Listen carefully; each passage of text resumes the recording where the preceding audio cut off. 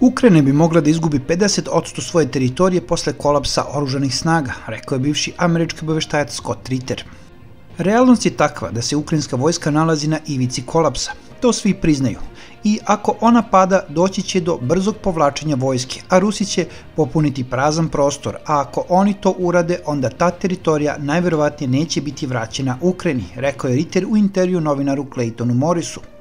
Prema njegovim rečima, situacija na liniji razdvajanja za Ukrajince je postala katastrofalna, jer nemaju više rezervnih snaga i municije, a ruska snaga likvidira veliki broj ukrajinskih vojnika u operaciji. Ukoliko neko iz rukovodstva zemlje ne ubedi predsednika Vladimira Zelenskog da prekine borbena dejstva, sudbina Ukrajine će biti tragična. Nadam se da će biti dovoljno čestiti da Zelenskom kažu da ako nastavi borbu, 20% izgubljene teritorije može da se pretvori u 40 ili 50%, zaključio je Ritter.